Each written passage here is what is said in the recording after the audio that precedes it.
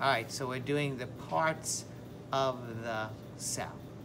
All right, so we start with the outside, we work our way in. All right, and look at the colors. The colors sometimes help. So we're starting with this outer covering. That's the cell membrane. They painted it in an aqua color. And I say that because you notice that that color continues on some of these other organelles, right? Called the plasma membrane, the cell membrane, all right? It covers and protects, all right? Gives the cell its shape, and its main function, it allows things to move in and out of the cell. So what we call transport, transporting nutrients in, allowing things to come out. Okay, that's its main function. So you notice we're doing the name and its function. You go inside, all right? All this clear plastic area, that's the watery part. That's the cytosol. It's water with thousands of different ions, minerals, vitamins, nutrients dissolved in it. Everything that the organelles will need to function properly, to carry on chemical reactions, metabolism, it's there. It came from out here. It came from the fluid outside, the interstitial fluid, it was transported in to the cytosol, and then it's given to the organelles. All the colored pieces represent the organelles. They're all different types of organelles, and they've color-coded them to make it easy for you. Right?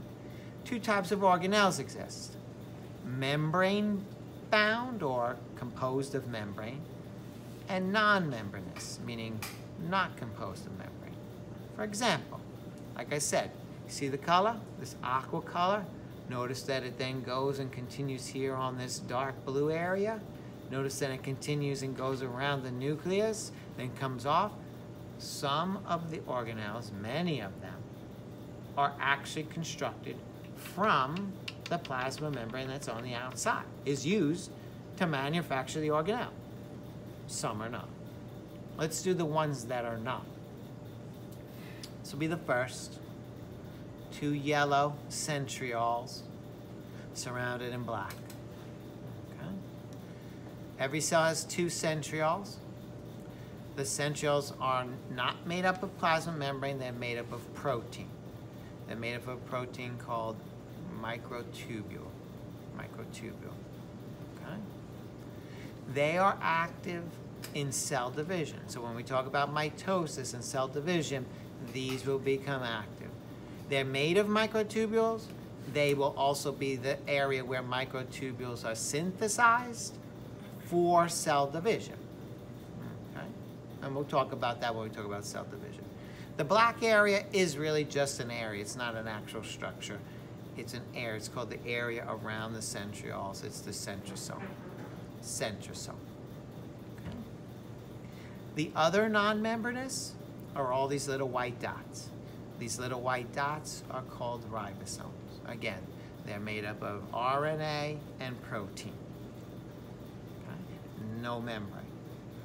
The role of the ribosome is where proteins will be created, right? You start protein synthesis at the ribosome. Notice that the ribosomes in this particular model seem to be connected or surrounding all of the green membrane parts. Those are called fixed ribosomes. Fixed ribosomes are actually attached to membrane.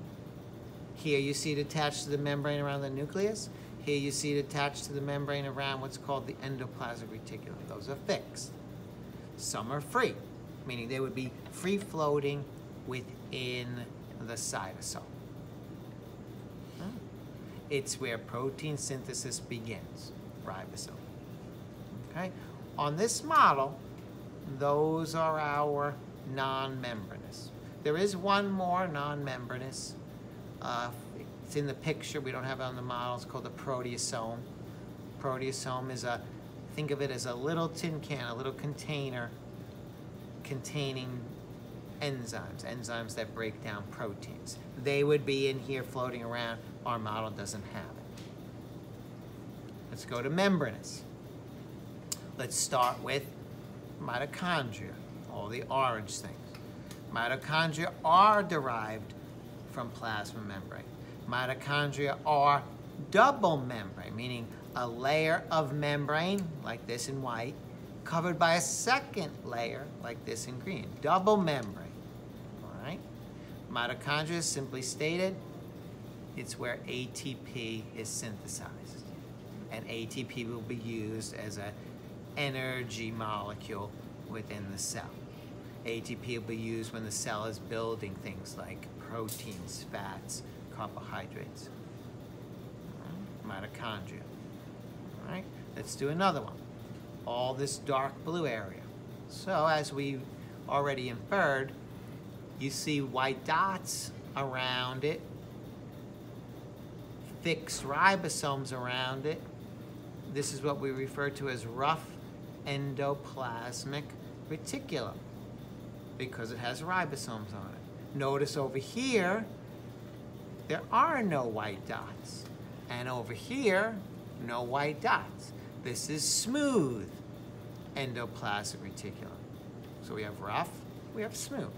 Rough is synthesis of proteins. So it works along with the ribosome in the construction of the protein. Smooth, synthesis of carbohydrate and fat. Carbohydrate and fat, smooth. Protein, rough. So we have lots of endoplasmic reticulum. Let's talk about this pink thing. This is the Golgi body or Golgi apparatus. This is constructed in the same exact way as the ER, meaning membrane is folded. Membrane is folded. Here the membrane is in pink instead of green, pink, to create little chambers. The dark blue is a chamber, the gray is a chamber known as cisterns. Inside that cistern is where the chemical synthesis takes place. So the structure of this and the structure of this, Golgi, ER, is similar. It's folded membrane creating cisterns, and inside something's being created. In the Golgi, we see the final stages of protein synthesis, carbohydrate synthesis, fat synthesis, meaning the proteins that were being made here in the rough and the carbohydrates and fats here will make their way to the Golgi, where the Golgi will then finish it off and put it into a tiny package. Once the product is done, it goes into a package. Okay? Here are the little packages. These one, two, three, four, five, six little bubbles, pink bubbles. These packages, we will refer to them as secretory vesicles. A vesicle is a little piece of membrane that contains something that was synthesized in the cell. So these little pink ones coming off the Golgi or near the Golgi, these were created by the Golgi. They contain stuff that was made by the Golgi. I'm calling these secretory vesicles because they will make their way to the membrane and then they will break open and release their contents out of the cell to secrete, to release from the cell. Another word for that is exocytosis exocytosis to release from the cell.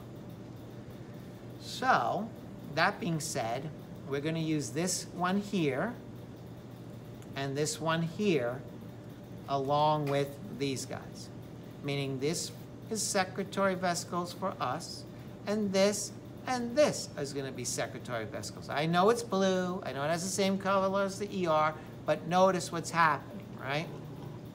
They're opening up onto the outside of the cell. So they're either releasing something from the cell or possibly taking something in, because cells could also take things in.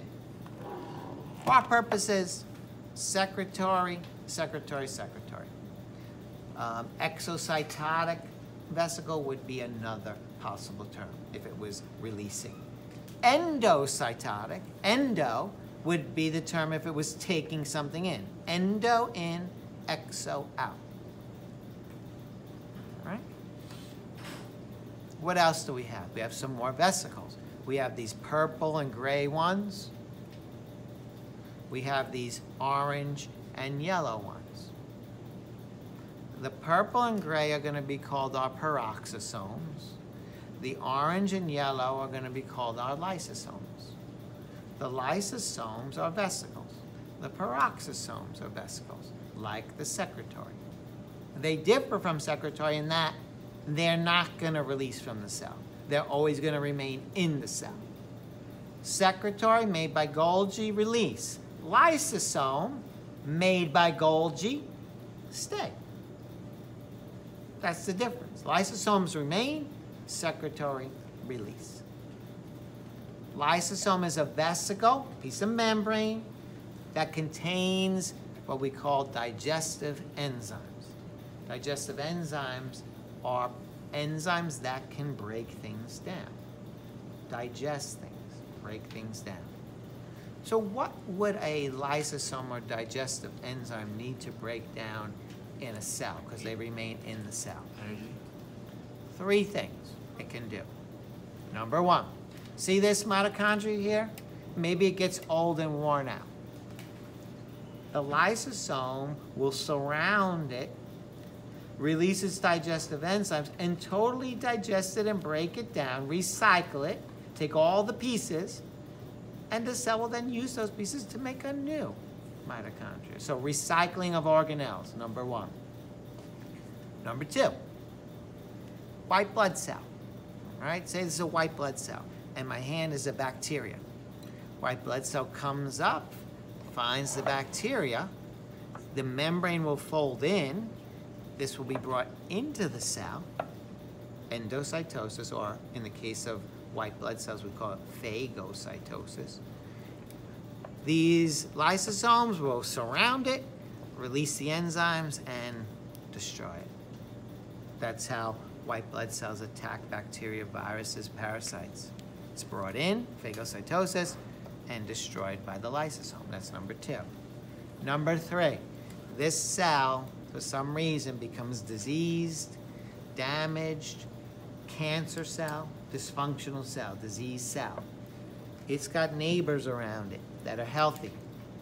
Cell realizes it's diseased, tells all of its lysosomes break open, and the entire cell is destroyed, digested. And then this diseased cell is destroyed and removed from the normal, healthy, functioning cell.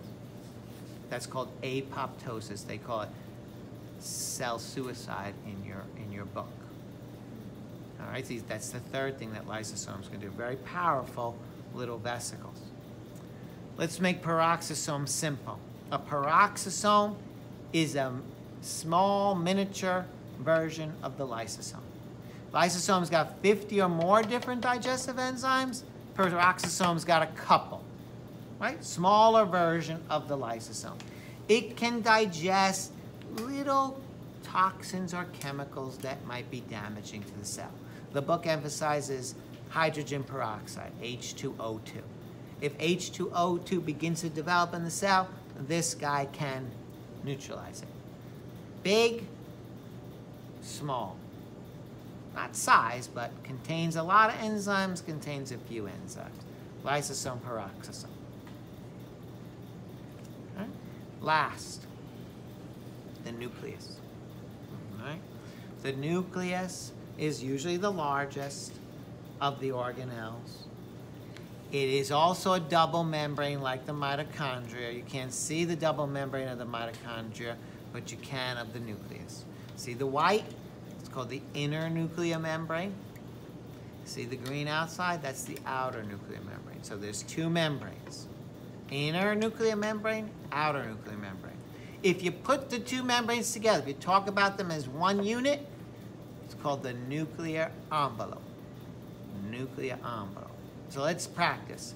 I put a label here on the white. I ask you to name the structure. What are you going to say? This white thing is? Inner nuclear membrane. All right, green, outer. Great. All the holes, nuclear pores holes that allow things to go in and out. The clear stuff, that's the water inside the nucleus. the water in the cell, cytosol, the water in the nucleus, nucleoplasm, nucleoplasm. If you look inside, you see a little brown marble. It's not a marble. It's called the nucleolus. They make it a color because it's an area inside the nucleus where there's a lot of synthesis going on, meaning we're making RNA and some proteins that might be used for protein synthesis or for the construction of a ribosome. So it's an area within the nucleus where synthesis is going on, the nucleolus. If you look really, really close, you're going to see blue squiggly lines floating in the nucleoplasm. That represents the genetic material. The nucleus is where genetic material is stored, where the DNA, where the genes are stored. And they will always be in there, and they will always remain in there. That's the nucleus. Final little bit. The membrane of a cell, as you can see by the coloration, can be used to be outside membrane, can be membrane of organelles, can be membrane of nucleus, can be membrane of vesicles. Membrane, so watch my stick. This piece of membrane that's right here will be in motion, in a living cell will be in motion. It will then become part of this membrane. It's in motion, it's in constant motion. Then it will become the membrane of this then it might become the membrane of this ER. And then this ER might be making something that needs to the Golgi. So see this little piece here? This might actually, this little piece of membrane might break off and carry that thing to the Golgi, and now the membrane becomes part of the Golgi. And then that may break off and become a secretory vesicle, and the secretory vesicle goes to the edge, and what does it do? It becomes part of the plasma membrane again, and there it goes. The membrane is fluid, dynamic, in motion. What's here might then be here, might be here, might be here, might become a lysosome. It's in constant motion. They call it the fluid mosaic model. Mosaic because it's made up of a bunch of different chemicals. Fluid because it's constantly moving. And just for clarity, this is the wooden base.